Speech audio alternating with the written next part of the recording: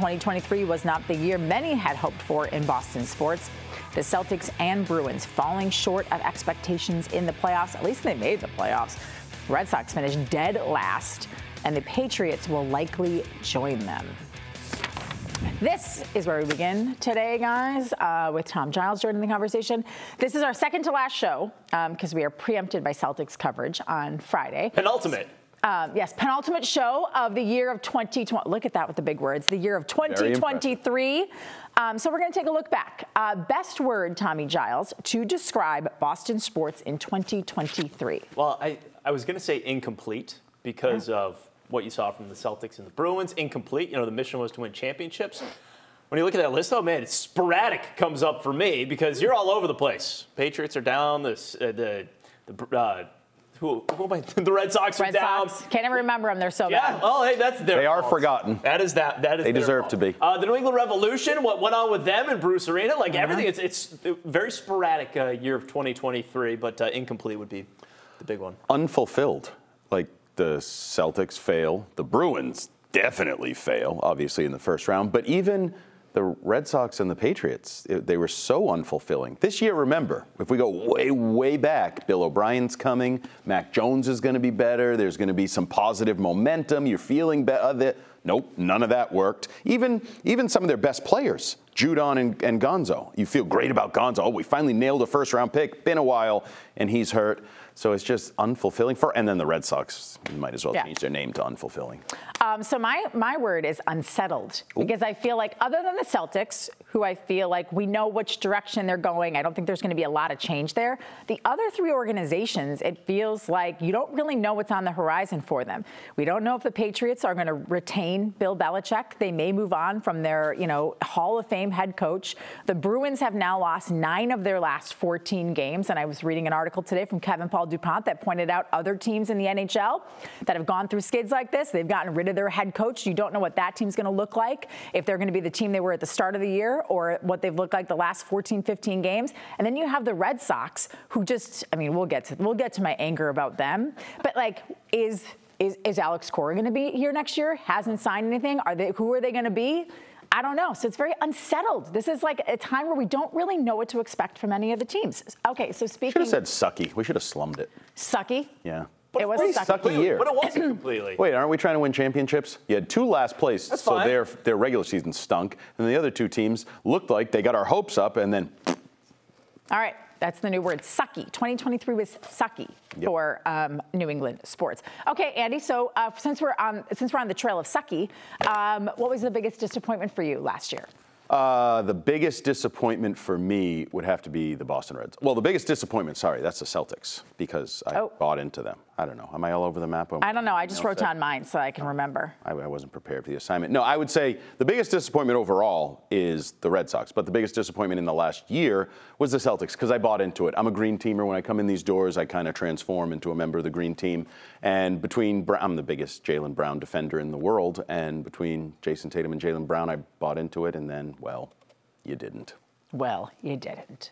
Yeah, but to me, it's it's the Bruins. You went out, you had a historic regular season, and understandably, things happen in the Stanley Cup playoffs. But in the opening round, you go seven games, you got the lead in Game Seven, and you give up the tying goal late, and then you lose in overtime. I mean, and, and just it, it, was maybe the way too. I was watching it with a bunch of friends at the airport. Um, coming off a, a, vacation, so you know you're, you're already experiencing what's going to be kind of let down. Yeah, yeah, right and then they lose in overtime and, and the way that went down. Um, so that was the biggest disappointment for me. So my biggest disappointment is uh, um, online with Andy, which is the Celtics losing in the Eastern Conference Finals to the Miami Heat. I mean, the door was open for them when they beat the 76ers, when Milwaukee was knocked out by Miami unexpectedly. The path opened for them. They had home court advantage. They had the, the stain of losing to the Warriors the year before and coming back in this big rallying cry. And then they lost. And that to me is a huge disappointment because I think a lot of us believe that they really had the talent to win the title last year. But that is not what made me most angry. So our next category is what angered us most in 2023. I am most angry about the Red Sox. Absolutely. Because I think that Boston is a big city. I was just home in Milwaukee for the holidays. There's like nobody around. You know, the Brewers are slashing payroll. They're signing like 20 year old kids to record contracts because they don't have any money. That team has money. That team has money, and I come back and I find out that Jordan Montgomery is going to cost too much, and you were never really in the Yamamoto sweepstakes, and you certainly weren't in the sweepstakes for Shohei Ohtani. I've said this once, I'm going to keep saying it until it happens. John Henry, if you don't want to own the team, sell the team. If this is not what you want to do anymore, sell the team. This used to be a baseball town. This used to be a place where I'd like to go on a sa- sunny Saturday afternoon and go watch the Red Sox play, and it was an event. Now, we can't even remember to be mad at you because we don't even, it, like you cease to exist in our mind. That's what made me the most angry. It's absolutely the Red Sox. And the most amazing thing, uh, unless they're preparing to sell, that's the only logical maybe. path that we are seeing. So maybe our anger leads to the sale, but they're not entertaining during the season. Nope. They're not entertaining during the off season, even though they're going full throttle. And you said there was uncertainty. Well, usually we say, well, get rid of the GM and bring somebody. They did that. They got rid of the GM and brought somebody else in. And same, same, as my buddy Rich Keefe says, they just brought in Chaim Bloom with a curveball. There's no difference. There's no spending. There's no go, going to get players. And the old days, they ruined you summer. Now they just ruin year round. They're almost irrelevant. Like they almost are. You kind of forgot about them. Like, what's Yeah. that fourth Yeah. team? Sorry. What's that fourth? No, it used to be a baseball town. Huh? You still Yeah. play in Boston. You're still a big market team. You're You're not supposed to be. You're not handcuffed with limitations. You have Fenway Park that brings people in, America's most beloved ballpark. But at some point, the team is not talented. There's no reason to watch the Red Sox. Giles, I'm not going to lie. I went to the Boston Pops for the first time, and you know they have like a local celebrity read the night before Christmas. It was Linda Henry, and I had to sit and keep my. I wanted to scream, "Sell the team!" Sell! Like that's how angry I am. And but that's all that makes news now is booing and heckling the owners. So, but here's the thing with the Red Sox. I, I guess I'm just I, I'm resigned. So you're not to- angry about them? Sounds like he doesn't care. This is who they are now. They've been oh. telling us this is who we are. This is what we do. And Oh, who they've makes been you doing it for angry, Giles? years.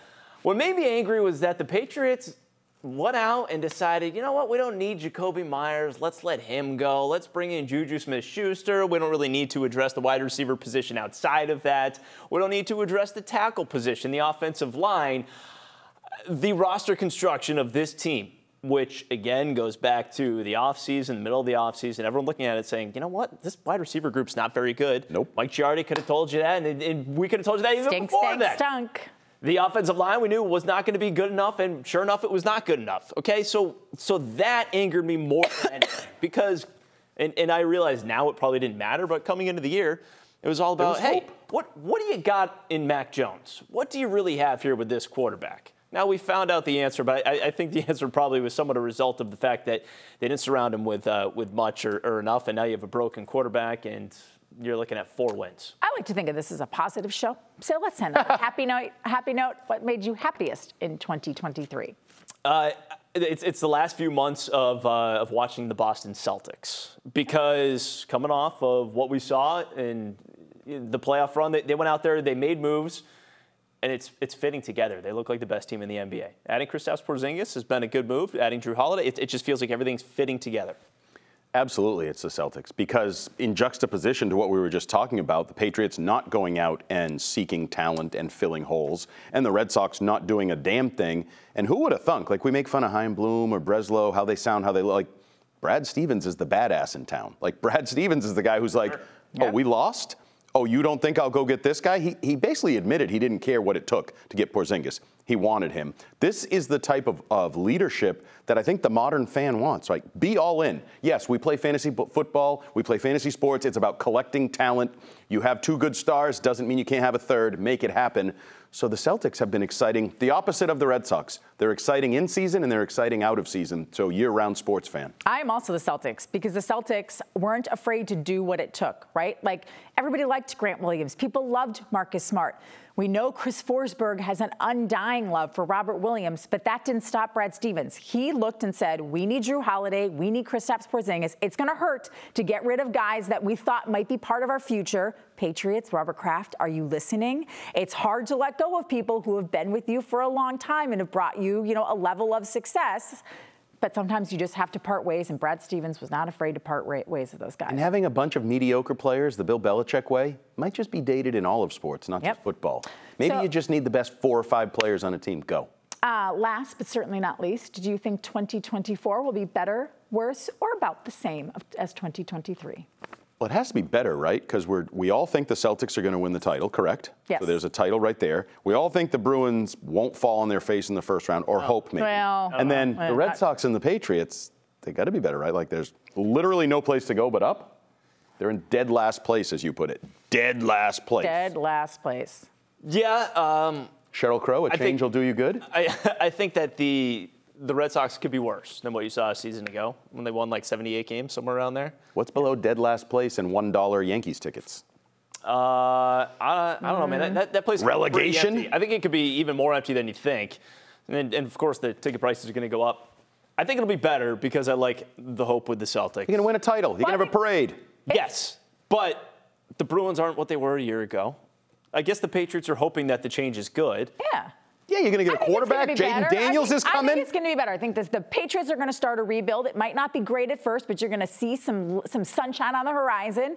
The Celtics are going to win a title, and the Bruins they're also sort of like in a middle area where they're kind of getting used to some young guys. You get some young guys that are you know bouncing back and forth. It's just the Sox that are going to stink, and you know what? Maybe the Henrys will sell the team, and then everything looks better and up from here.